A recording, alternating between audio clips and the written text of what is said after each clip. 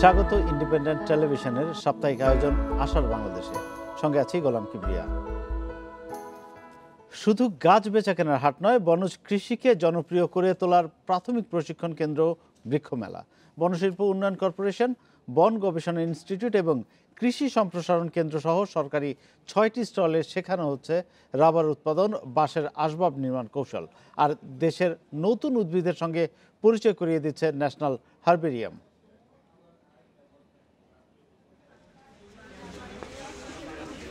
বৃক্ষমেলায় rubber গাছে চলছে tapping. গাছ থেকে কষ সংগ্রহ করে রাবার তৈরির প্রক্রিয়ার সাথে পরিচিত করতে এ আয়োজন বন শিল্প উন্নয়ন কর্পোরেশনের বীজতলা তৈরি সিডলিং ও কলম কীভাবে তৈরি করতে হয় হাতে কলমে দেখানো হচ্ছে এই স্টলে। তিরিশ থেকে চল্লিশ পঞ্চাশ বছর রাবার উৎপাদন দেয়। এই ট্রিট প্লান্টে গাছ প্রসেসিং করে। এই রাবার গাছ দিয়ে ফার্নিচার নানান ধরনের ফার্নিচার আপনারা ইচ্ছা মতো তৈরি করতে পারেন। ন্যাশনাল হারবেরিয়াম স্টলে দেশীয় ওষুধি গাছের সাথে পরিচিত হতে পারবে যে কেউ। বিলুপ্তপ্রায় উদ্ভিদ সহ সারা দেশের তিন হাজার ছশো প্রজাতির উদ্ভিদের তথ্য পাওয়া যাবে এই স্টলে। ভিনদেশি উদ্ভিদ বন্যপ্রাণী বান্ধব উদ্ভিদ কি? তারপরে নতুন আবিষ্কৃত উদ্ভিদ, বাংলাদেশের নতুন, আবার তন্তু উৎপাদনকারী উদ্ভিদ, ওষুধ উদ্ভিদ, অর্থাৎ এই বিষয়গুলো আমাদের, আমরা জনসাধারণকে তথ্য দিয়ে থাকি। বন গবেষণা ইনস্টিটিউটের স্টলে রয়েছে বাঁশের তৈরি আসবাবপত্রের প্রদর্শনী। বাড়ির দরজা, জানালা, খাট চেয়ার সহ প্রয়োজনীয় সব সামগ্রী তৈরির উপায় বলে দিচ্ছে বন গবেষণা ইনস্টিটিউট। একটি গাছের যেভাবে স্থায়িত্ব থাকে বাঁশেরও ক্ষেত্রেই সেই একই রকম। বিশ পঁচিশ বছর আপনি যদি এটা সংরক্ষণ করে থাকেন এটা আপনার লাইফ টাইম আপনার লঞ্জিবিটি অনেক বেশি। মেলায় উপস্থাপন করা হয়েছে সবুজে ঘেরা গ্রামের মডেল প্রকৃতি আর মানুষের সহ অবস্থান তুলে ধরা হয়েছে। হাইড্রোফনিক পদ্ধতিতে কম জায়গায় সবজি চাষের সূত্র জানাচ্ছে কৃষি উন্নয়ন কর্পোরেশন। তো হাইড্রোপনিক পদ্ধতিতে মাটি ছাড়া কীভাবে আপনি ঘরের ভিতরে সবজি উৎপাদন করতে পারেন তার মডেল আমরা এখানে একটা উপস্থাপন করেছি। উদ্ভিদের সাথে পরিচিত হতেও অনেকে আসছেন বৃক্ষ মেলায় গোলাপ গা- ফুলটাকে দেখি আর মনে করি যে ওয়ালিজা আমার সাথে সাথেই আছে। বড় রকম একটা উপকার হচ্ছে আমাদের জন্য গাছ চিনতে পারছে তারা। কারণ গ্রামে তো এরা যাওয়া খুব কম হয়। গাছের প্রতি আগ্রহ বাড়ায় পনেরো দিনে মেলায় বিক্রি হয়েছে প্রায় সাড়ে চার কোটি টাকারও বেশি গাছ। Shahriar Anirban Independent News Dhaka. এ বিষয়ে আলোচনার জন্য আমাদের সঙ্গে আছেন ঢাকা বিশ্ববিদ্যালয়ের উদ্ভিদ বিজ্ঞান বিভাগের অধ্যাপক ডক্টর মোহাম্মদ জসিমউদ্দিন এবং ন্যাশনাল বোটানিক্যাল গার্ডেনের পরিচালক মোল্লা রেজাল করিম। স্বাগত আপনাদের। থ্যাংক ইউ কথা হচ্ছিল বৃক্ষ মেলা নিয়ে। আমরা দেখলাম যে প্রায় সাড়ে চার কোটি টাকারও বেশি গাছ বিক্রি হয়েছে পনেরো দিনেই। এটি একটি বিরাট ব্যাপার। তার মানে নগরবাসী আসলে গাছ লাগানোর একটা শখ আছে এটা বোঝা যাচ্ছে। তো ঢাকা শহরের মতো একটি জায়গায় যেখানে মাটি কম মানে উদ্ভিদের সংখ্যাও কম। সেখানে কেউ যদি বাড়িতে বাগান করতে চায় বা গাছ লাগাতে চায়, আপনাদের পরামর্শ কি? এখন হচ্ছে আমাদের যেই পরিমাণ খালি জায়গা আছে ঢাকা শহরে সেখানে গাছ লাগাতে গেলে অবশ্যই পরিকল্পনা দরকার। আপনি তো খালি জায়গা, ব্যক্তিগত পর্যায়ে খুবই কম। আর যাদের বাড়ি আছে, তাদের হয়তো আছে। সেখানে তো বড় গাছ তো বেশি লাগাতে পারবে না। বিশেষ করে ঢাকা শহরে মানুষ ফলের গাছ বেশি লাগায়। আর পাশাপাশি সৌন্দর্য বর্ধনকারী গাছ বেশি লাগায়। হ্যাঁ আমরা ফলের গাছের ভিতর ধরেন মানে বিশেষ করে যে গাছ গাছগুলো বুশি টাইপের হয় মানে যেমন আমরুল, জামরুল, আম, করমচা, আপনার হচ্ছে পেয়ারা, লেবু, জাম্বুরা, তাছাড়া অনেকগুলো বিদেশি ফল কিন্তু এখন বৃক্ষমেলায় প্রচুর। হ্যাঁ যেমন আপনার আছে অ্যাভোক্যাডো আছে রামবুটান আছে। এগুলো কি হ্যাঁ। আমাদের যে কোনো মানে জায়গাতেই হয় নাকি বিশেষ পরিচর্যার প্রয়োজন? এখন তো হচ্ছে। এখন তো ধরেন চাষ করার যে টেকনিক হ্যাঁ। মানুষ এটা জেনে ফেলেছে। ইভেন শীতের দেশের গাছও দেখা যাচ্ছে বাংলাদেশে হচ্ছে। আর মানুষের যত বিদেশি ফল যেটা নতুন তার প্রতি মানুষের আগ্রহটা বেশি। মানুষের আগ্রহ বেশি হওয়াতে কিন্তু আপনি দেখেন সে বৃক্ষমেলায় অধিক পরিমাণ কিন্তু বিদেশি গাছের সমারোহ বিশেষ করে ফল এবং ফুল জাতীয়। তো এই যে মানুষের আগ্রহটা এবং মানুষ টেকনিক জানে হ্যাঁ, তাদের অল্প জায়গায় বিশেষ করে ছাদে বারান্দায় অথবা তাদের আঙ্গিনায় ছোট পরিসরে কিন্তু তারা বিশেষ যত্ন নিয়ে কিন্তু সেগুলো চাষ করতেছে হ্যাঁ। তো এতে হচ্ছে কি মানুষ বাধ্য হচ্ছে চাষ করতে। আপনি বাজারে যেই হারে ফলমূলে যেই হারে বিষাক্ততা প্রমাণ হচ্ছে মানুষ এই এই বিষাক্ততা থেকে রক্ষা পাওয়ার জন্য তার মানে এটা শখও বটে মানে একটা এটা শখ নিজের গাছের নিজের গাছের ফল খাওয়ার শখ তো আলাদাই। মানুষ তো ধরেন বাজারের প্রতি বিরক্ত হয়ে মানুষ যার যেখানে সুবিধা আছে সে সেখানে কিন্তু গাছ লাগানোর জন্য চেষ্টা করতেছে। বিশেষ করে ঢাকা শহরে বিভিন্ন কারণে বিভিন্ন ধরেন সরকারের প্রচারণা বিভিন্ন উন্নয়ন সংস্থার প্রচারণা আর মিডিয়া এবং পত্রপত্রিকা যেভাবে গাছের পক্ষে কথা বলছে তা মানুষ তো বাধ্য হচ্ছে যে খারাপ দিক থেকে বাঁচার জন্য। অন্তত নিজের একটা কাঁচামরিচ নিজের একটা গাছের ফল একটা লেবু এটা। আনন্দ বা তৃপ্তিটাই হ্যাঁ, অন্যরকম। আমি হ্যাঁ। আমি এই প্রসঙ্গে যাচ্ছি একটু মোল্লা রেজাউল করিমের কাছে। আপনার কাছে যেটি জানতে চাবো আপনি ন্যাশনাল বোটানিক্যাল গার্ডেনের পরিচালক।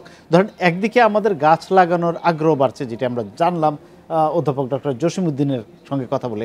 তার পাশাপাশি ধরেন যে গাছগুলো আছে বোটানিক্যাল গার্ডেনে প্রচুর গাছ আছে এবং অনেক কি বলব রেয়ার উদ্ভিদও আছেন। সেগুলোকে সংরক্ষণ বা সেগুলোর যত্ন নেওয়ার ব্যাপারে আমরা কতটা মানে যত্নশীল? আমাদের এই দায়- দায়িত্ববোধটা কতটা আছে আমাদের মধ্যে? ধন্যবাদ আপনাকে। আসলে যেমন জসিম ভাই বলছিলেন জি। আমাদের দেশে উনিশশো একাশি সাল থেকে বৃক্ষ মেলা শুরু হয়েছে। এই বৃক্ষ মেলা একাশি সাল থেকে ধারাবাহিকভাবে হওয়ার কারণে দেশের বিভিন্ন জেলা পর্যায়ে উপজেলা পর্যায়ে বিভাগীয় পর্যায়ে এবং সারা বছর ব্যাপী বন বিভাগের কিছু কিছু প্রশিক্ষণ কোর্স এসবের মাধ্যমে দেশের মানুষের কাছে বৃক্ষরোপণ বৃক্ষ পরিচর্যা বৃক্ষ সম্পদের প্রয়োজনীয়তা এই বিষয়গুলোর যে গুরুত্ব সৃষ্টি করার কথা ছিল সে বিষয়ে আমি বলব যে বন বিভাগ অনেকাংশে সফল।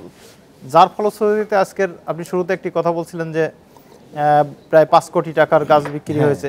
পনেরো দিনে হয়েছে হ্যাঁ, আরও বেশি পাঁচ কোটি, আরও বেশি কারণ আমি নিয়মিত বৃক্ষ মেলায় যাতায়াত করি। ওখানে যে তথ্য কেন্দ্রটি আছে।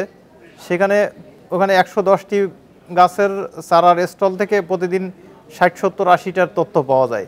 এই ষাট সত্তর আশিটার কম্পাইলেশনের মাধ্যমে আমরা জানতে পেরেছি পাঁচ কোটি টাকার চারা বিক্রি হয়েছে। আচ্ছা। কিন্তু বাস্তব পরিমাণ বিক্রির পরিমাণ আরও অনেক বেশি। অনেক বেশি হ্যাঁ। গাছের যারা চারা বিক্রি করে এই স্টল মালিক মালিকরা অনেক সময় সঠিক তথ্য আমাদের কাছে দেয় না। তার কারণ হলো বেশি বিক্রি হয়ে মানে গেছে বেসরকারি বেসরকারি খাতে যারা করছে। রাইট তো এর মধ্য দিয়ে একটা জিনিস প্রমাণিত হয়েছে সেটা হলো গাছের প্রয়- প্রয়োজনীয়তা এবং গাছ রোপণের দিকে মানুষের আগ্রহ পরিচর্যার আগ্রহ এটা বিপুল পরিমাণে মানুষের মধ্যে বৃদ্ধি পেয়েছে। এটা তো গেল একদিকে। আমি বলছি যে ধরেন বোটানিক্যাল গার্ডেনের মতো যেগুলো উদ্ভিদ বা যেগুলো যে উদ্যান আছে আমাদের জাতীয় উদ্যান সেগুলোতে মানুষ কতটা দায়িত্বশীলতার পরিচয় দেয় ধরেন জি জি আমি সে কথাটাই বলছি। যেহেতু মানুষের মধ্যে বৃক্ষ সম্পর্কে সচেতনতা সৃষ্টি হয়েছে সুতরাং বোটানিক্যাল গার্ডেন এর পাশাপাশি আমাদের দেশে একটা টার্ম ইতিমধ্যে ডেভেলপ করেছে, সেটা হলো ছাদ বনায়ন, নগর বনায়ন, নগর কৃষি, ছাদ কৃষি, এসব যে বিষয়গুলো আছে, মানুষের থেকে গাছের প্রতি ভালোবাসা তৈরি হয়েছে। এবং আপনি দেখবেন, গতকালকে সন্ধ্যার পরে আমি দেখলাম যে বৃক্ষ মেলায় হাঁটার জায়গা নাই। অনুরূপভাবে আমি আজকে সকাল থেকে বোটানিক্যাল গার্ডেনে যে দৃশ্যগুলো দেখলাম, যে বৃষ্টি উপেক্ষা করে হাজার হাজার মানুষ ছুটির দিন পেয়েছে বাচ্চা কাচ্চা নিয়ে, তারা তাদের সন্তান সন্তান নিয়ে, পরিবার নিয়ে বোটানিক্যাল গার্ডেনে এসেছে। এই যে মানুষের মধ্যে একটি গাছের প্রতি প্রীতি, গাছকে ভালোবাসা যে স্থানটি তৈরি হয়েছে, সেখান থেকে মানুষ এখন বেশিরভাগ ক্ষেত্রেই যে সচেতনতা তৈরি হয়েছে তাদের মধ্যে, তার প্রেক্ষিতে মানুষ অনেকাংশে দায়িত্বশীল এখন। অবশ্যই। আমি ছাদ বাগান প্রসঙ্গে একটু যাচ্ছি মোহাম্মদ জসিমুদ্দিনের কাছে, যেটি আপনার কাছে জানতে চাই। ধরেন, এখন একটা কথা হচ্ছে, আমরা বিভিন্ন মাধ্যমে বা ফেসবুকে বা সামাজিক যোগাযোগ মাধ্যমে দেখি যে, ছাদে বাগান করা অবশ্যই সবাই এনকারেজ করে। কিন্তু আরেকটা কথা বলা হয় যে, ছাদ একটা বিল্ডিংয়ের সেটি কতটুকু লোড নিতে পারবে সেটিও একটু বিবেচনায় রাখা দরকার কারণ একটি ছাদ সেভাবে ডিজাইন করা হয়েছে কিনা বিশেষত পুরনো বিল্ডিংগুলোতে সেটা ঝুঁকি থাকে কিনা সেই বিষয়টাও কি নজর দেওয়া না সেটা অবশ্যই আমাদের যে পুরনো বিল্ডিংগুলো কিন্তু ছাদ বাগানের উপযুক্ত না।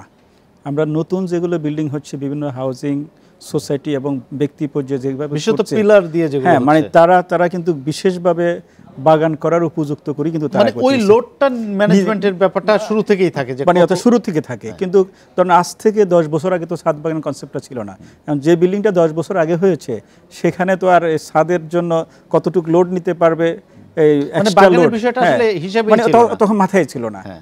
এখন ধরেন সেখানে যদি আপনি বাগান করতে চান সেটা শুধুমাত্র কলম বরাবর পিলার বরাবর অথবা আপনি এই এই কি ভার্টিক্যাল কোনো স্ট্রাকচার তৈরি করে বাইরে হ্যাঁ। ছাদ পর্যন্ত নিয়ে সেখানে আপনি করতে পারেন কিন্তু আপনি এবং ছাদে অতিরিক্ত লোড যেন না দেয় না হয় না সেটা আপনি করতে পারবেন না করলে সেটা হিতে বিপরীত হবে কিচেন গার্ডেন করা যেতে পারে ছোট ছোট হ্যাঁ মানে অত ছোট ছোট পাতা পারবেন, কাঁচামরিচ হ্যাঁ, এগুলো হয়তো। হ্যাঁ আপনি মানে যদি বড় বড় গাছ লাগায় হ্যাঁ। ধরেন আম্রপলি লাগাচ্ছে আজকে আমরা তো দেখি তো লাগাচ্ছে তারপর জাম গাছ লাগাচ্ছে বড় বড় ইয়ের ভিতরে আপনার ড্রামের ভিতরে হ্যাঁ ড্রামের ভিতরে। তা এখন সেই পরিমাণ মাটির লোড ধরেন পুরনো বিল্ডিংগুলো সেটা নেওয়া অসম্ভব। তা এক পর্যায়ে দেখা যাচ্ছে ওই বাগানটা উল্টো দুঃখের কারণ হয়ে যাবে। কিন্তু নতুন যে বিল্ডিংগুলো হচ্ছে আমরা ইতিমধ্যে ধানমন্ডি কয়েকটা ছাদ আমরা ভিজিট করেছি। হ্যাঁ দেখলাম যে সেখানে তারা বিশেষ ব্যবস্থা করেছে এবং সেখানে পানি সাপ্লাইয়ের ব্যবস্থা করেছে, পানি রিজার্ভ রাখার ব্যবস্থা করেছে।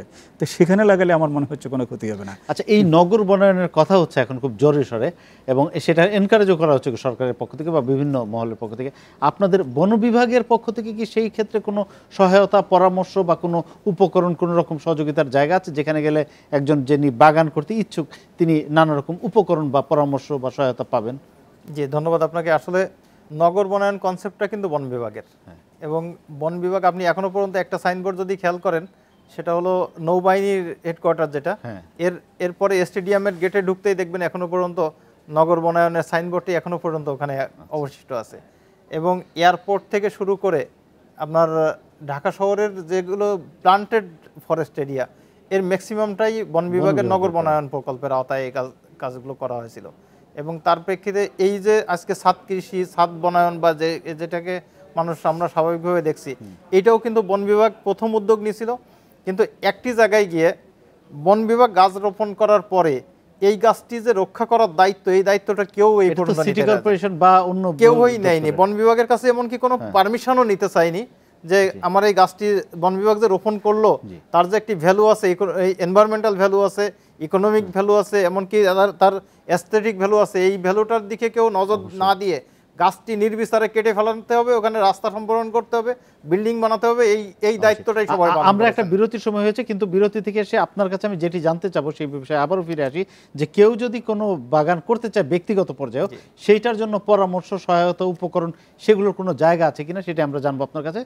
যে প্রসঙ্গে কথা হচ্ছিল সেটি হচ্ছে যে মানুষ বাগান করতে চাইলে মানে নগর বাগান করতে চাইলে বা ছাদে কিছু করতে চাইলে কোত্থেকে পরামর্শ পাবে, উপকরণ পাবে বা সহায়তা পাবে? আপনি জানেন ঢাকা শহরের মানুষদের জন্য একটি কেন্দ্রীয় স্থান থেকে ঢাকাবাসীকে এই সহযোগিতাটা বন বিভাগ প্রোভাইড করতো। সেটা ছিল বেইলি রোডের একটা বন বিভাগের বিশাল বড় নার্সারি, যেখান থেকে বিভিন্ন শ্রেণির বছরে প্রায় চোদ্দ লাখ, পনেরো লাখ চারা উত্তোলন করা হতো এবং চোদ্দ পনেরো লক্ষ চারা ঢাকাবাসীর মধ্যে বিতরণ হতো আর কি। এখন এই ওইটা বন্ধ করে দেওয়ার পরে এই সুযোগটা অনেকটা সংকুচিত হয়ে গেছে। তারপরে আমরা বিশেষ করে বলদা গার্ডেন থেকে খুব কম পরিমাণে কিছু দিচ্ছি। আর বোটানিক্যাল গার্ডেন থেকে একটা বড় ধরনের সাপোর্ট ঢাকাবাসীকে আমরা দেওয়ার চেষ্টা করছি বন বিভাগের পক্ষ থেকে। এবং বাংলাদেশ বন বিভাগের আরও একটা বিষয় হলো যে শুধু চারা বিতরণ নাই এটাই শেষ কথা নয়।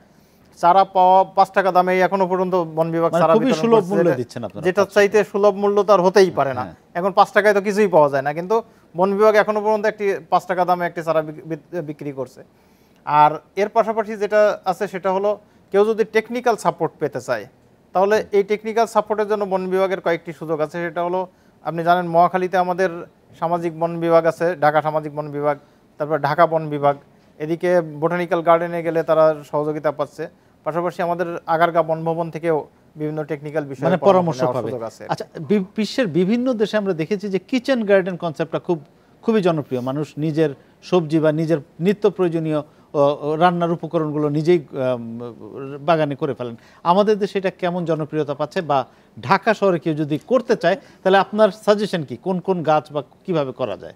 তবে এটা এটা কিন্তু গত পাঁচ সাত বছর যাবত কিন্তু বেশ আমাদের। এখানেও হ্যাঁ, বেশ পপুলার আমি মানে বিশেষ করে এটাকে অ্যাপ্রিসিয়েট করেন আপনি? হ্যাঁ অবশ্যই অ্যাপ্রিসিয়েট করি। আপনি ধরেন যে নতুন হাউজিং যেগুলো হচ্ছে ধরেন বসুন্ধরা উত্তরা তারপরে আপনার গুলশান বনানী যারা নতুন বাড়ি করছে কিন্তু তারা কিন্তু বিশেষভাবে স্ট্রাকচার তৈরি করে সেখানে কিন্তু বারান্দা করিডোর ছাদ বিভিন্ন জায়গায় কিচেন গার্ডেনের প্রভিশন হ্যাঁ প্রভিশনটা রাখতেছে। সেখানে বিশেষ করে ধরেন ধনিয়া পাতা পুদিনা পাতা পেঁয়াজ তারপরে কাঁচামরিচ তারপরে লেবু। ইত্যাদি। ছোটোখাটো যেগুলো ধরেন বুশি টাইপের গাছ ছোটো হার্বাসিয়াস প্ল্যান্ট যেগুলো আপনার সহজে হয় হ্যাঁ সে সে- সেগুলো তো মানুষ লাগাচ্ছে। আপনি ধরেন এই সাত কৃষি মানে প্রসার হচ্ছে। আমরা তো ইতিমধ্যে প্রায় মানে বিভিন্ন টেলিভিশনের রিপোর্টে দেখি। হ্যাঁ এটা কিন্তু মানুষের মানুষ বেশ ভালোভাবে নিয়েছে। কারণ আমি আগে বলেছি মানুষ এখন সব জায়গায় শুধু ভেজাল দেখতেছে। তা এখন মানুষ শখের বসে হোক ভেজাল থেকে রক্ষার জন্য হোক সে চাচ্ছে যে তার যতটুক জায়গা আছে ওর ভিতর সে একটু ম্যানেজ করে একটা ফ্রেশ এটা তো গেল একদিক। পরিবেশ রক্ষায় এটা হ্যাঁ, কি ইম্প্যাক্ট রাখে? পাশাপাশি পরিবেশ রক্ষায় ধরেন আমাদের যে ঢাকা শহরের তাপমাত্রা অন্য এলাকার তুলনায় বিশেষ করে ঢাকার বাইরের তুলনায় দুই তিন ডিগ্রি সবসময় বেশি। এখন আপনার যদি গাছপালা যদি আপনার আশেপাশে থাকে সে বাড়তি অক্সিজেন আপনাকে দিচ্ছে। এর ফলে বাতাসে কিছুটা হলেও কার্বন ডাইঅক্সাইড সে নিচ্ছে অক্সিজেন দিচ্ছে, কিছুটা হলেও তাপমাত্রা আস্তে আস্তে কমতেছে। আমরা বরাবরই বলে থাকি, ঢাকা বিশ্ববিদ্যালয়ের campus area Ramna Park Suhrawardy এরিয়ার সাথে আপনি যদি ফার্ম গেট অথবা আপনার ইয়েতে মতিদুলের সাথে কম্পেয়ার করেন আপনি দেখবেন যে দুই তিন ডিগ্রি মানে একই শহরের মধ্যে। একই শহরের ভিতর অল্প হ্যাঁ। কয়েক কিলোমিটার হ্যাঁ এখন জানেন ঢাকা বিশ্ববিদ্যালয় এবং রমনা পার্কে এরিয়া গাছপালা বেশি? এখন সেই সেই রকম যদি ধরেন ঢাকা শহরের ছাদে বারান্দায় যেখানে ধরেন রাস্তায় গাছ লাগানোর সুযোগ নেই অথবা ফুটপাতে গাছ লাগানোর সুযোগ নেই সেখানে আপনার বড় যে বিল্ডিং যে বড় যে অট্টালিকা সেখানে যদি আপনি সেই প্রভিশন রেখে যদি আপনি ছোটোখাটো গাছপালা লাগিয়ে রাখেন তাহলে আপনার তো অবশ্যই তাপমাত্রা কিছুটা হলেও কমবে। অবশ্যই এবং সেটার সংখ্যা যদি অনেক বেশি অনেক বেশি হয় আস্তে আস্তে আর আরেকটা বিষয় আমরা আমরা আমরা যে মানে বৃক্ষ মেলার প্রতিবেদনটিতে দেখছিলাম যে মানুষ আগ্রহী হচ্ছে পানিতে গাছ করা বা হাইড্রোপনিক সিস্টেমে। এইটার ব্যাপারে একটু যদি বলেন আমাদেরকে এটা কতটা মানে উপযোগী ঢাকা শহরের জন্য? ঢাকা শহরে আসলে এই ধরনের জলাশয় তো নাই বা পানিতে গাছ রোপণের মতো সেরকম পর্যাপ্ত স্পেস মানুষের নাই। আচ্ছা। কিন্তু একটা বিষয়ে ইতিমধ্যে মানুষের কাছে জনপ্রিয়তা লাভ করেছে সেটা হলো ছোট ছোট টব ছোট বালতি বা ছোট ধরনের ড্রাম বা গামলার মতো। গামলার মতো। এইগুলোতে কিছু অ্যাকুইটিক হাইড্রোফাইটস প্লান্টস তারা সংগ্রহ করে করে মানুষ লাগাচ্ছে। এটার দুইটা দিক। একটা হলো একদিকে এটা যে বাসা বাড়িতে সংরক্ষণ করা হচ্ছে বা যেখানে এটা করা হচ্ছে সেটা খুব কম পরিমাণ স্পেস দখল করে। এটা উপর বেশি উপরের দিকে ওঠে না। এটা এক একদিকে দৃষ্টিনন্দন। তাছাড়া যেহেতু সরাসরি পানিই সেখানে থাকে সুতরাং ক্লাইমেটিক যে ইয়েটা সেটাকেও নিয়ন্ত্রণ করার ক্ষেত্রে কিন্তু এই গাছগুলো বেশ ভালো ভূমিকা পালন করে। সেজন্য মানুষের কাছে এটার জনপ্রিয়তা দিন দিন বাড়ছে এবং আমি বৃক্ষ মেলায় আমি নিজেও খেয়াল করেছি যে এই বিষয়টা মানুষের মধ্যে অনেক আগ্রহ। আচ্ছা বৃক্ষ মেলায় কোন ধরনের গাছ বেশি বিক্রি হচ্ছে? বৃক্ষ মেলায় আসলে ফলজ বনজ গাছ তো মানুষ নিচ্ছেই। এটা বিপুল পরিমাণে বিক্রি হচ্ছে। কিন্তু মানুষের একটা ব্যাপক আগ্রহ হলো এই ফুল জাতীয় গাছের প্রতি। সাধারণত মানুষ এসেই যে গাছটিতে ফুল দেখতে পাচ্ছে, ওই গাছটি আগে কেনার চেষ্টা করছে। আমি দেখছি যে গাছটি আসলে সাধারণভাবে মানুষ বিশ, তিরিশ, চল্লিশ টাকায় নার্সারি থেকে কিনতো, ওই গাছটিতে দুইটা ফুল ফুটে আছে, এটা দেখলে দুইশো টাকা, আড়াইশো টাকায় কিনে নিয়ে চলে যাচ্ছে। আমি অনেক কাছে আমি ব্যক্তিগতভাবে জিজ্ঞাসা করেছি যে আপনি কত দিয়ে কিনলেন এটা? তো এই যে বেশি পরিমাণ টাকায় কেনার পিছনে উদ্দেশ্যটা, কারণটাই হলো যে যেহেতু এখানে সরাসরি একটা ফুল সে দেখতে পাচ্ছে। তো এই কারণে আমার কাছে মনে হয়েছে যে আসলে ফুলের পরিমাণটাই বেশি, ফুল গাছ বেশি কিনছে মানুষ। আর ফুল গাছ যেহেতু বেশি বড় জায়গা দখল করে না, সে কারণে এটার প্রতি আগ্রহটা মানুষের একটু বেশি ব্যালকনিতে, বারান্দায়, ছাদের কর্নারে, ঘরের টবে বিভিন্ন জায়গায় তারা রোপণ করতে পারে।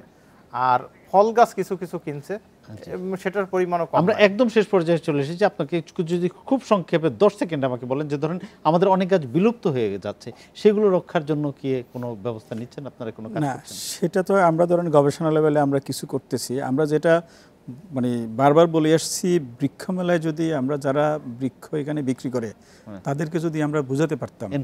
তাদেরকে যদি এনকারেজ করতে পারতাম আমাদের এই গাছগুলো আমাদের বিপন্ন। হ্যাঁ, মানে বিশেষ করে আমাদের ফরেস্টের গাছ ম্যাক্সিমাম বিপন্ন। হ্যাঁ এই গাছগুলোকে যদি আমরা তাদেরকে চিনাতে পারতাম হ্যাঁ তারা যদি নিয়ে আসতো তাহলে হয়তো বা বিপন্ন গাছগুলো আবারও প্রাণ ফিরবে। তো অনেক ধন্যবাদ আমাদের স্টুডিওতে আসার জন্য। আমরা। অনুষ্ঠানের শেষ পর্যায়ে চলে এসেছি।